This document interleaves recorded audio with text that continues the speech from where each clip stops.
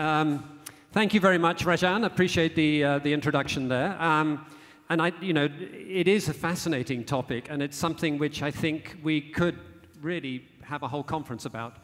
This whole idea of, of differentiating Saudi tourism product from global competition, because there are just so many issues layered into that. Um, but anyway, we, we, I'm fortunate to have two, two panelists who are going to answer all of, my, all of the questions and give us everything we need to know about this. We have Lucio Frigo, who is the Executive Advisor and Chief Development Officer at the Saudi Ministry of Culture. And then we have Hicham Hassouni, who is the Strategy and Business Development Chief Officer at the Boutique Group. So again, both, both coming with, from organizations which will bring a really great perspective on this process. So how do we, how do we start this conversation? This conversation is, is based upon the fact that we have, Saudi has this wonderful history, this wonderful storied past that, that, that uh, is, should be really celebrated through the, the product that we're producing. And then we had the challenge with that of a country, and a, kingdom which is looking very much to the future and being very futuristic and being seen as, as as pushing the boundaries in terms of technology and, and uh, um, it, sort of innovation. So, so how do we blend these two things together? We've got the, we know that, that the tourist, that the visitors, the discerning traveler is really looking for authentic experiences. And, and those authentic experiences are kind of, they, they like to curate them as part of a collection. And it's something which, which relates very much to well, what is authenticity, I guess? And that's something which we'll, we'll discuss through the process. So I'm actually going to have a bit of fun through this to start things off, just to get a bit, a bit of the energy going. And um, we're actually bringing out a, an avatar of, of uh, Will Onions, who's, who's, one of our founders. So he, he deals, he heads up our AI division, let's say. Um, Will, it actually looks remarkably good for about 150, 115, I think he is. Um, and I hope I can look that good at, at, uh, at that age.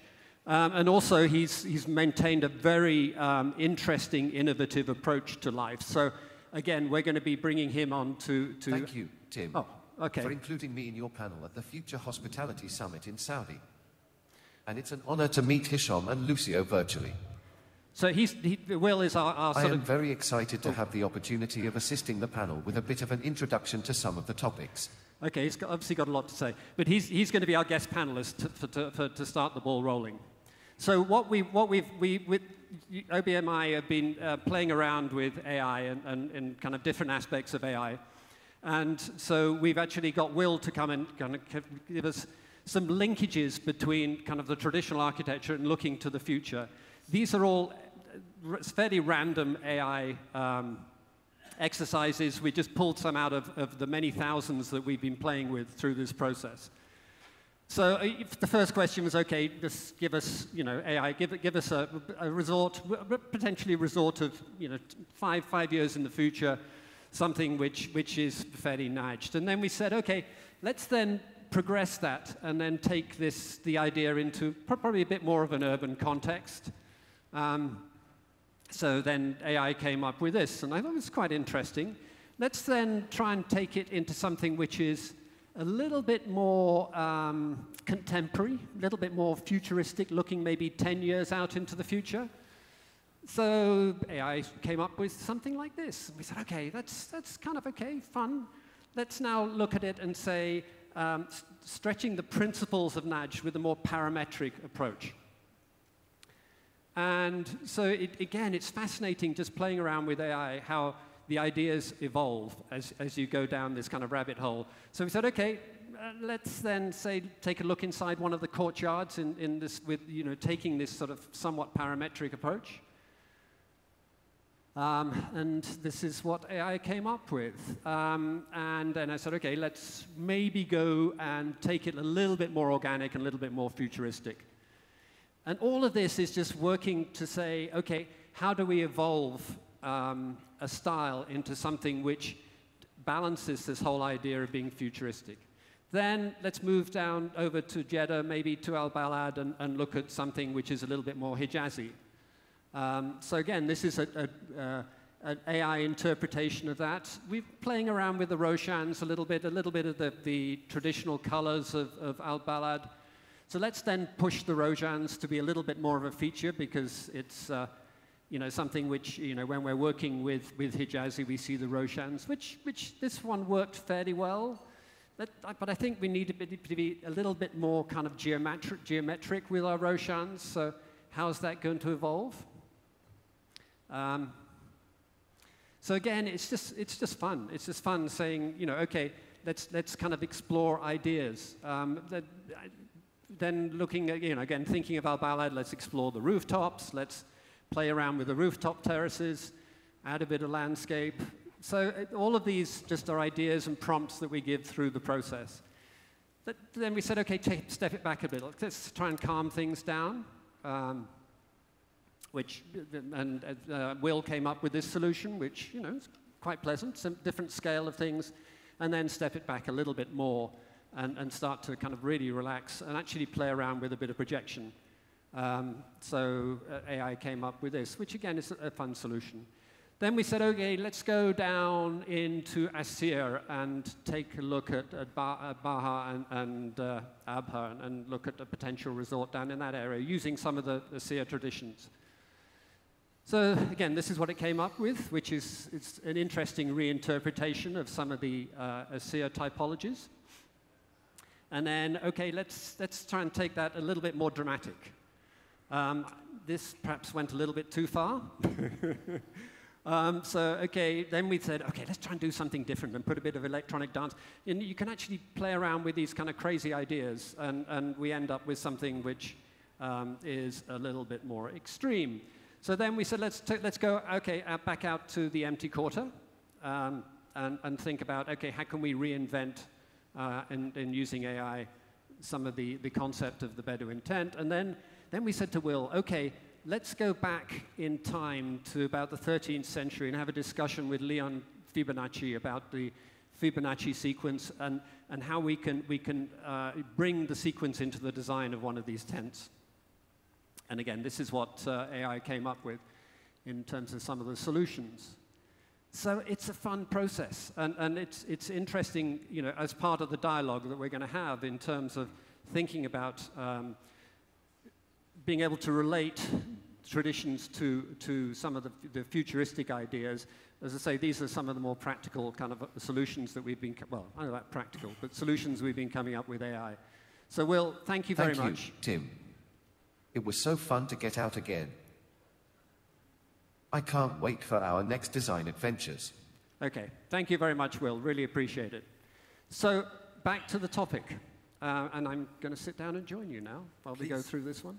Um, interestingly, have, are you guys playing around with AI at all in, in uh, Lucio in terms of the ministry? Well, uh, good afternoon, everyone. Obviously, we are not enough. Now that I see that, is Will up for hiring? Can we actually work with them? We, yeah, Will, we can, we can organize Will for you, yeah. But uh, jokes apart, I think uh, just for the sake of uh, also explaining why the Ministry of Culture is represented here, there is a unit within the ministry which is called the Center for Development Project, where we act as master developer of different sites that are underpinned by heritage and culture, so they could be urban sites like Jed al Balad, but it can also be sites like Jax in Riyadh or other cultural landscape like uh, the area around Al Fao in the south of the country, many others. So I think we don't do directly, but mm-hmm. we definitely are increasingly being exposed to that indirectly because many of the designers that we're working with starting to actually explore it, and then we see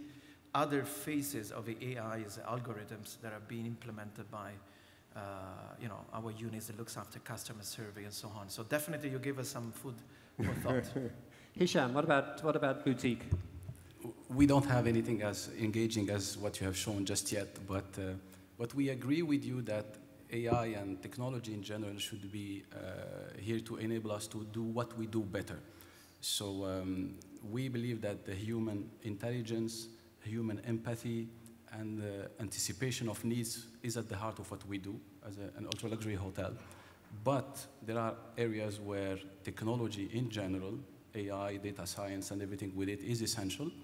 Uh, if you think ultra luxury, for example, it comes with hyper personalization. It's impossible to achieve this hyper personalization without strong data science, uh, technology, AI, and so on. Um, there's also all the back of the house and the behind the scene where technology is essential to help us make the right decisions, uh, whether to optimize our revenue, to manage our cost, and so on and so forth. So uh, human at the center, but technology is needed to elevate the experience and uh, run the most efficient business. Whether we like it or not, it's going to be part of the way we do business in the future. Taking a, a deeper dive into to today's topic, um, I think it's, it's, useful to kind of review one of the defined objectives of the Vision 2030, mm-hmm. transforming our unique assets into distinctive tourism, tourist experiences that attract both domestic and international visitors, a key objective of Vision 2030. Our goal is to create a tourism sector that is not only a source of national pride, but also a significant contributor to our economy. Lucio, uh, share how the, the, Ministry of Culture is fostering hospitality experiences that are both the, the, kind of source of pride and economic drivers. So, and you know, bearing in mind the topic of the, today's conversation. Yeah. Well, uh, within our asset, there are a lot of uh, assets that are being converted uh, to an hospitality use. So perhaps also to give more context, a lot of what we do uh, worked on is a brownfield asset. So our heritage asset or cultural asset are converted to hospitality. So I think what is always very key and important for us is to make sure that the story of the, the property, but also the story of the previous inhabitants, so the two sides of culture, which is tangible and intangible, are part of um, the, the proposition that will be put forward from uh, any operator. And some of the things, we are working with some of you actually, and uh, some of the uh, things that we're bringing forward are actually the creation of very specific properties with a very key name that is connected to a specific history, but is underpinned by uh, a specific uh, operator, right, to, to create consistency. So, for example, in Al Balad, in the uh, Jeddah Historic District, we are working with, at the moment, Kerten Hospitality on a few properties that have been converted into a unique boutique hotel experience. And I really encourage all of you to come and visit them. Uh, Hicham, that your team has, has, developed sort of expertise in preserving cultural heritage for ultra luxury hospitality. Can you give us some specific examples of, of, of, how you relate to, to the topic in terms of the, you know, the, the, the, the unique assets that, that share the goals and the visions of, of, of uh, Vision 2030? Absolutely. It, it, all starts with the, with the vision. So the vision is very uh, broad and, and, and bold. Um, the, the target is to reach 100 million tourists by 2030, 10% uh, GDP produced by tourism and hospitality, 1.6 million job creation. So it's, it's a very ambitious goal. Uh, it requires involvement of different stakeholders, private stakeholders, public stakeholders, governmental stakeholders. So Boutique is very excited to be part of this ecosystem as a PIF-owned company, but also in close collaboration with Ministry of Culture, Ministry of Tourism, the Tourism Authority. And what we do really is that we are enriching that landscape by adding a, a niche product that will uh, create interest. And what we bring is ultra-luxury heritage uh, hospitality that is new. So uh, by doing that, uh, we contribute to uh, creating a, a thriving economy uh, as one of the main pillars, but it goes beyond only the economics. It's also because of our close ties with the Ministry of Culture, uh, we, our mandate is to celebrate and promote culture and heritage globally, but also inside Saudi Arabia. So it's, it's about setting a new benchmark globally to Saudi hospitality, but also allowing Saudi nationals to rediscover their own heritage. And Lovely. this is related to creating a vibrant society, which is also one of the main pillars of Vision 2030. And it kind of ties into this issue of, of, of, authenticity, and I think, you know, which is, which is something which is so important. And, and when you're talking about kind of leveraging the heritage, that it's how you do it in a very authentic way. Mm. And I think it's interesting for this discussion is how do we define authenticity? Because especially when you're looking at, at you know, very different approaches to some of the design solutions sometimes you know, often as, as, architects, we're looking at sort of context and culture, and then how do you interpret that into, into a, a maybe a future, future focused approach. So, Lucio, how does, how does the ministry define authenticity? What, and, and give us some examples of, of how you, you define it. It's a very good question. Uh, well, first of all, the ministry is responsible for the UNESCO file within the, the kingdom. Therefore, as uh, we know, the authenticity is one of the key three pillars as defined by the UNESCO for the protection of different assets. So it's a very important um, concept for everything that we do. Now, I, if, if you allow me to take a bit of a step back and give again the context or the philosophical context is we really believe that tradition is a source of a continuous innovation. And this builds into, I think, the key uh, direction that is given to us by the leadership of the country, which is, if I have to summarize in a very simple way, would be we will be relevant in the future because of our past.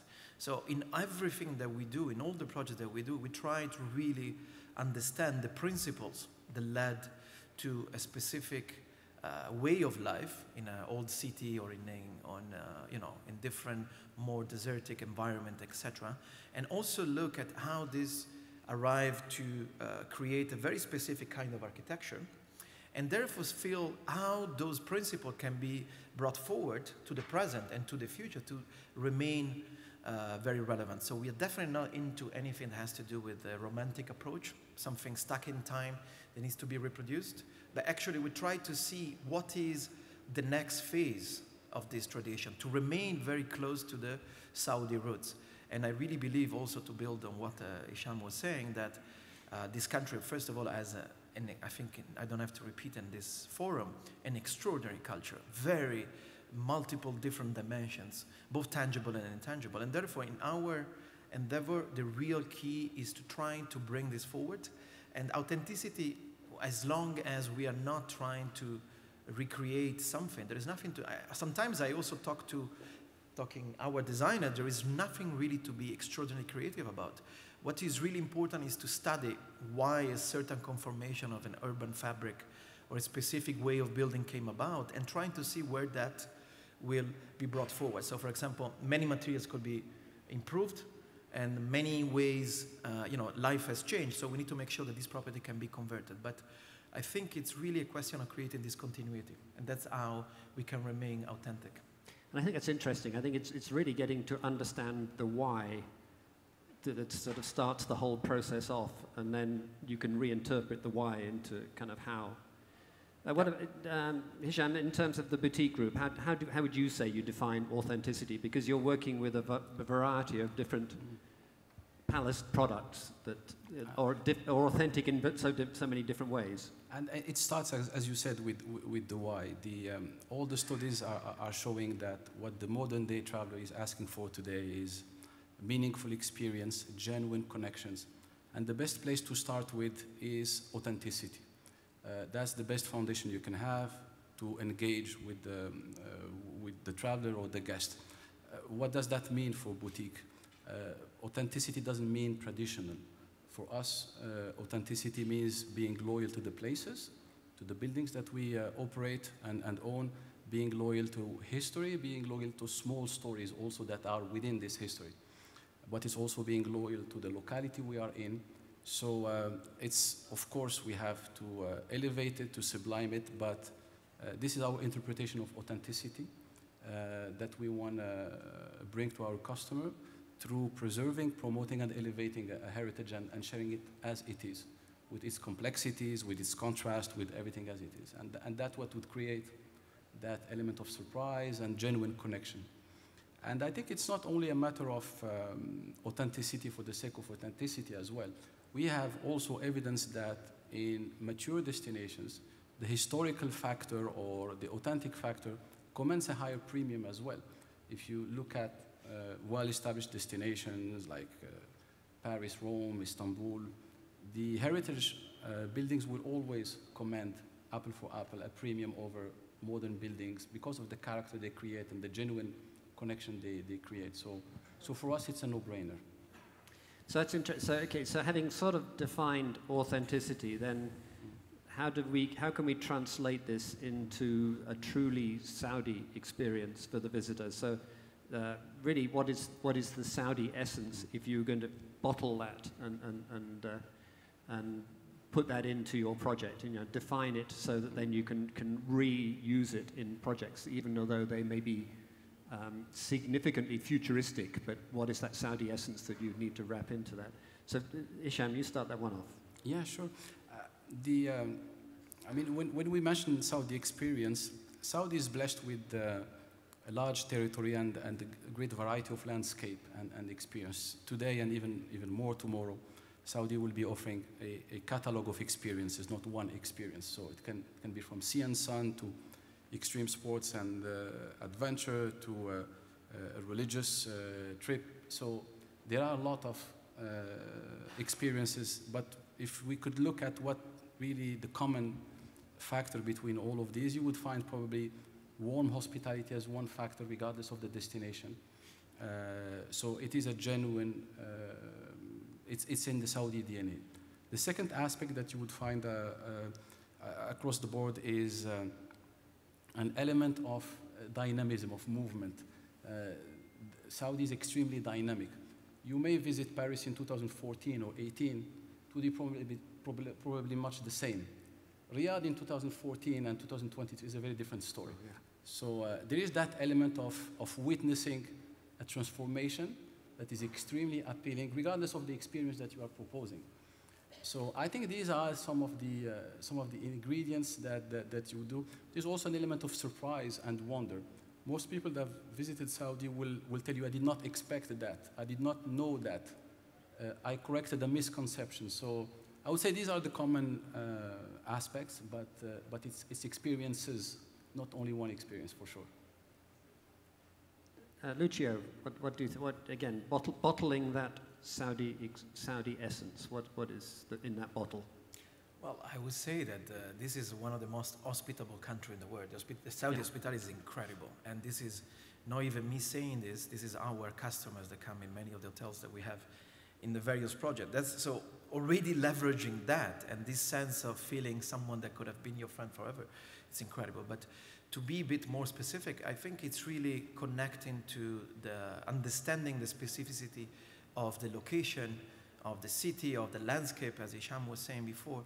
Uh, a project in Jeddah al-Balad that we have is very different from the project that we are currently doing an hotel in a, on the other side of the sea, in uh, Al Uqair, on the, on the Gulf. So it's uh, really understanding what is that makes that area specific. I think there is more and more even a, a top-down approach that is starting to understand, the, the differentiating from an architectural perspective guidelines for each region they need really to build on the local uh, patterns, and the local materials, but then also the same thing will go into um, the, the intangibles of the people. If you want some uh, specific example, one of the things that I would give as an advice to a lot of the operators here would really trying to leverage among the workforce for the hotel, specifically on the front facing staff, the Saudi uh, talent, because this is something that we have seen in projects that we have developed in Alula or in Jeddah, etc., is what always remain and is always mentioned by international customers saying it was amazing to get to know such a wonderful people.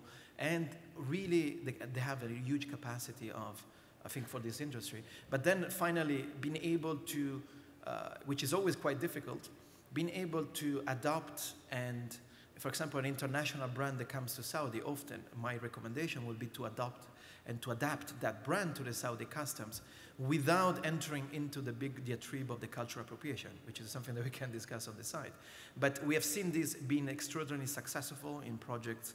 Uh, many of you have visited, I don't know, Habitas in Alula, but you will have to come to visit the new Al Balad collection in, uh, in Jeddah and see how that is actually implemented. Okay, now this, this is the kind of crunch question, but down to kind of crunch time, I guess, getting towards. So, having defined the essence, how do you translate it into the more futuristic design of the likes of the Line or Trojena or something that, I mean, we saw up, up on the screen earlier on, I don't know if you were in earlier on, just to see the, the NEOM video. How do you translate that Saudi essence into something which is very futuristic in terms of design? Um, uh, do, do, so, Go ahead. No, it's the, the, way we approach it, of course, uh, design is an important element. So our approach is to have a, a, a very meticulous uh, preservation. So for now, we have the, the three palaces that are announced. Uh, so Al Hamra Palace, uh, the Red in Jeddah, Red Palace in Riyadh, and Tuwaiq Palace. So uh, each one of them belong to a different era. So from the late 50s to, to the mid 80s. So it starts with a meticulous transformation. But um, for us, it's beyond the, the design. It's everything that is happening throughout the guest journey. So uh, we are a, an, owner, an owner and developer and operator, but we have a very strong uh, culture and heritage uh, initiative that is being run throughout the process. So everything is documented from a preservation point of view, but also in terms of service. So we managed to uh, infuse uh, cultural touch point throughout the journey. So uh, it's, it's throughout. It's not necessarily mm -hmm. the mm-hmm. building, and, uh, but, but it's also the way we behave from the greeting to the uh, F&B to small objects and, and, and all of them. Okay. Lucio, what, what, would you, what would your response, what the Ministry of Culture's response in terms of translating the, the essence into one of these more futuristic projects? Well, I think even the line, I see a strong continuity with the actual and historical. Uh, there, is, there is a strong continuity between historical site and something like the line, insofar one of the key uh, assumptions, one of the key reasons why the line has a, this specific approach to development and construction is to basically minimize the carbon footprint and to minimize and to create something that is more sustainable while leaving the, re the rest of the landscape intact. Therefore, this is very akin to what we are working on many projects, which is called a cultural landscape, where we're trying to build upon uh, the way that humans and nature has co-evolved over the century in a way that doesn't destroy it either or. And I think the line, you know, if I have to look at the principle behind it, is very much approach. If we go more closer to our project, I really, that's why I was insisting on the idea of continuity. I don't yeah. think there is the past and the future. There is a continuity of what is relevant to bring forward from the past into our future. And I think this country is doing this extraordinarily well at the moment. Therefore, even in projects that have supposedly into a very old urban fabric, the idea would be to use new materials and see how they are more sustainable. I'll give you a very simple example to say what that means. It's going to have to be simple because we're. It's in, uh, in Jeddah we use coral, lime, the coral limestone in the past, which is something that is protected and is not available in the future. So what is the new way to do that? Or in Alula, the same for the mud. We can be used stabilized bricks and so on. So I think there is a strong sense of continuity and the same we don't have the time could be said for the intangible part, for the people and the hospitality parts of that. As I say, I, unfortunately, we have run out of time, and, and, but it is a topic that, that we could spend uh, the whole afternoon discussing because I think there are so many related issues in terms of, of the, the, the topic itself. But uh, I, I, think that going back to what you were saying, it's really a lot of it is understanding why, why things have happened in the past and being able to reinterpret that into the future. And that's, that's a big part of it. But yeah, anyway, uh, really appreciate your input and your responses, and obviously very happy to continue the, uh, the conversation over a cup of coffee with, with um, anyone. Thank you very much. Thank you.